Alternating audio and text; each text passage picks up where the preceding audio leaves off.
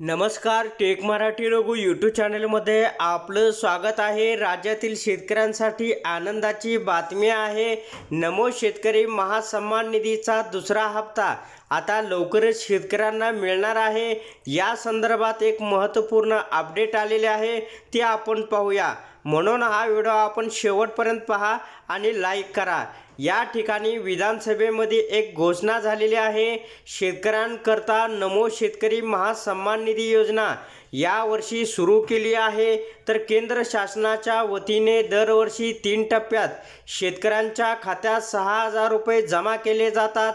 त्यात आता राज्य शासनाने आणखी सहा हजार रुपये भर घालण्याचा निर्णय घेतला आहे त्याकरता पाच हजार सातशे कोटी रुपये इतक्या रकमेची तरतूदसुद्धा करण्यात आलेली आहे आणि पंच्याऐंशी लाख साठ हजार शेतकऱ्यांच्या बँक खात्यावर राज्याच्या हिश्शाचा पहिला टप्पा म्हणून एक हजार सातशे वीस कोटी रुपये या ठिकाणी जमा करण्यात आलेले आहे.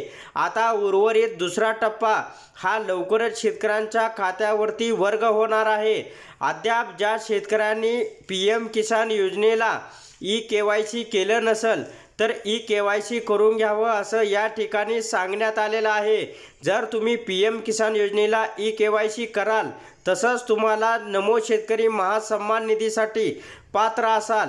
अद्याप ज्या शेतकऱ्यांना नमो शेतकरी महासन्मान निधीचा पहिला हप्ता मिळाला नाही जर त्यांनी ई के वाय सी केलं तर त्या या योजनेत त्या शेतकरी पात्र राहतील.